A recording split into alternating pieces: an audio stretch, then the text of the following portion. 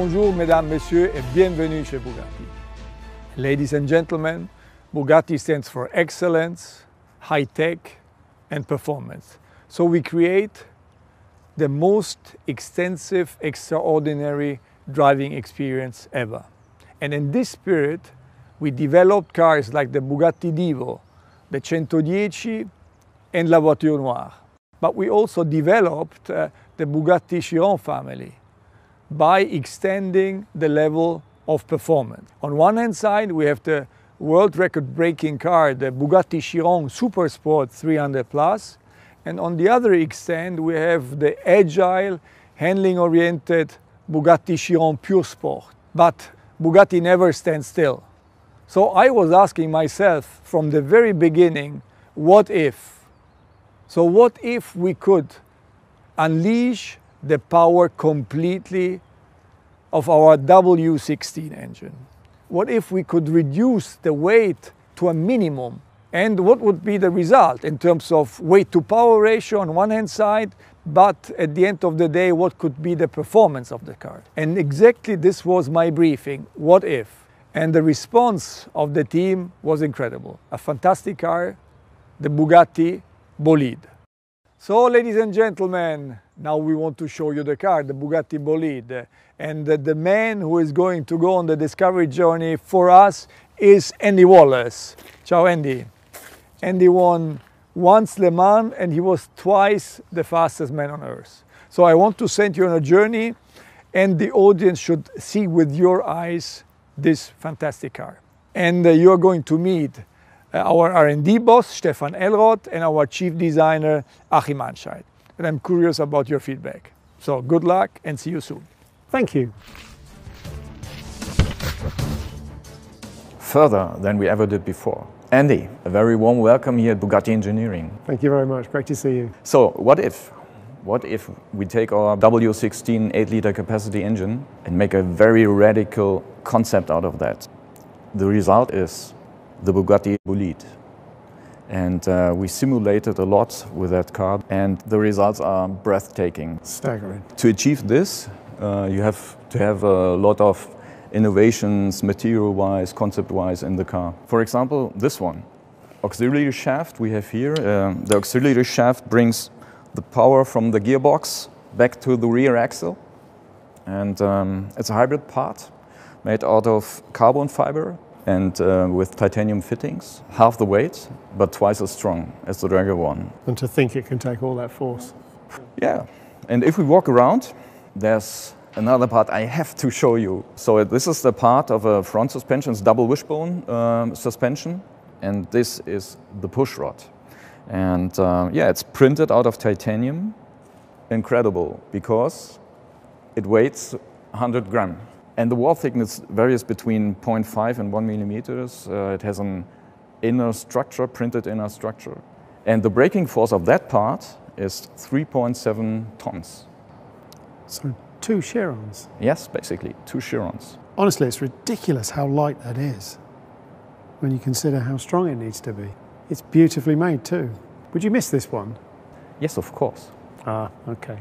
As you know, of course, um, to get the air through the car, around the car, uh, in the right way, it's very scientific to have the airflow there where you want to have the airflow. And uh, basically, the car has an adjustable front splitter, adjustable rear wing, a three-layer rear diffuser, and on the top we have air intake for the engine, and there we have inflatable bubbles uh, on that air intake. On higher speed, if you inflate those bubbles, the air stays on the car without any kind of turbulences, so the, that you get a better airflow on the rear wing. And on the same way, you have more downforce. And uh, if we go on the side, uh, the car is according to FIA free formula racing car rules. So the monocoque has an integrated rollover protection system. We have an integrated uh, side impact protection with a coolant going through that. And we have Michelin uh, slick tires. And the width of the tire is 340 millimeters in the front and 400. It's a massive tire, 400 in the back. I think you have to have your own experience, Andy. Can, can I try it? Yes, jump in the car. Luckily, I brought my helmet with me. So now it's time to drive the Bolide. Finally. So we've seen the underpinnings of the car and some of the exotic lightweight materials that were used in the manufacture. And now we still don't get to see the car because it's covered in this rather colourful camouflage.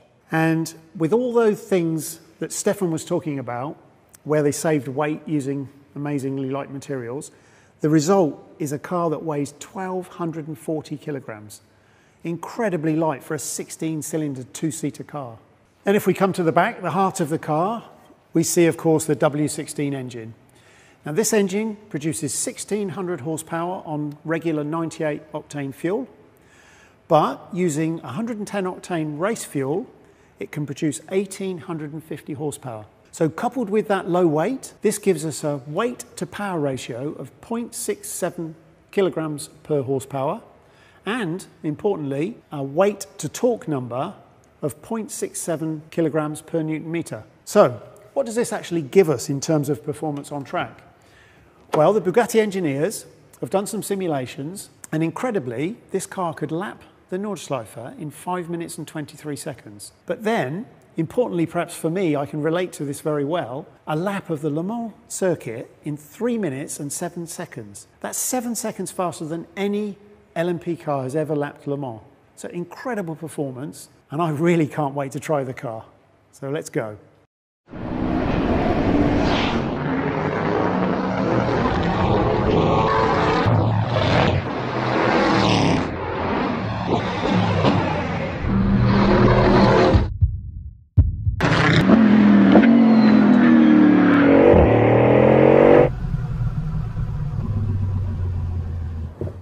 Wow, what an experience.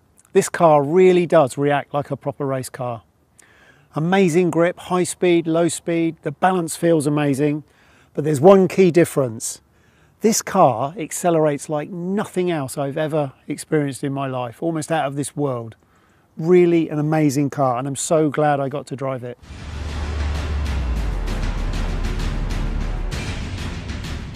What a car. We're always talking about form follows performance, and now I can see exactly what you mean. At least in the very beginning, it was only uh, form following performance. What really would happen if we strip Bugatti Chiron of all its creature comfort and then position the driver quite a bit more extreme and lower in the car, and then almost shrink wrap an exterior around the driver and the technical components and make it an ultra minimal and ultra performant concept. That became the project Bolide.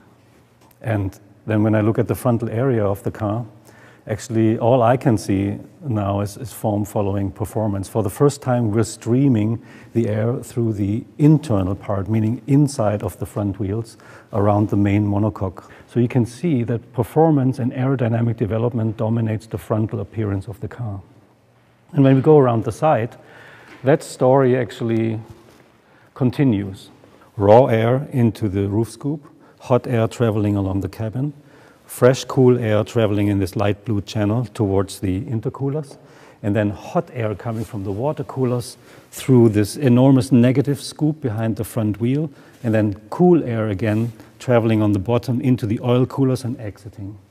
So this goes to show how technology and aerodynamic handling really came first, and then we tried to find a win-win, how we position the cabin between the wheels, give the car quite a bit more stance, and also apply a bit of Bugatti identity with it, which I hope can be realized. It is unmistakably a Bugatti, and I can imagine that was not a work of the moment. Uh, took a moment, but then, you know, it's actually an evolution of the C line of the Chiron. And then compare that to the Bugatti line of the Divo, is quite a bit more sporty. And here you have the ultimate sportiness no, on the bolide, where the Bugatti line becomes super fast and really nice and elongated in proportion. So what's happening at the rear? Come on, come on, I'll show you. So you see here that the exhaust was put right in the center of the rear end, therefore allowing the diffuser having maximum performance width. And at the same time, it creates an architecture where everything around the exhaust really is there for extracting hot air from the engine compartment. I noticed this X theme all over the car. So what's that all about? That has something to do with the experimental nature of the project. You remember the film The Right Stuff, Chuck Yeager breaking the sound barrier Absolutely. for the very first time. For us, this was a similar approach to this project, this experimental track focused car with the X graphics uh, all around. But I think the most prominent, you see that on the frontal area. Now, this remains probably my favorite view. You see the fuselage really arriving at the crash box, and everything ends with the Bugatti horseshoe here in the front.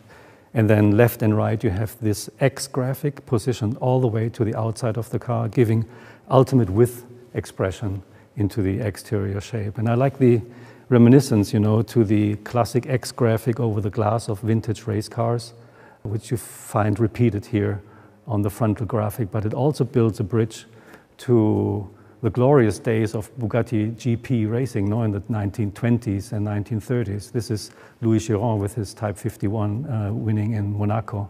And I think it's a wonderful analogy between the secret of success in those days, which was unmistakably the power to weight ratio, but it's a similar feeling and it creates a link that we like very much. So, can we start it up again? Ah, I was hoping you would ask that.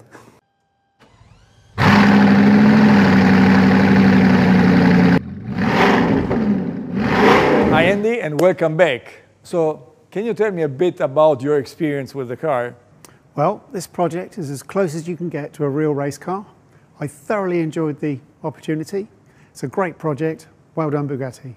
Thank you very much. We always value your feedback. It's very important to us. Ladies and gentlemen, in my eyes, Bugatti always was and still is striving for perfection. So at the end of the day, it comes down to the fact that we have to exceed the dream of our customers and our fans. The Bugatti Bolide is benchmark for what is technologically possible today. And thanks to the dedication of the Bugatti team, this result could be achieved. And also the dedication to their jobs in general is enabling us so far to achieve another record year in the year 2020, and this despite COVID 19. And I have to say that this car is really a dream. The Bugatti Bolide. Vive la marque! Subscribe now to UCAR, a point of reference for car fans since 2010.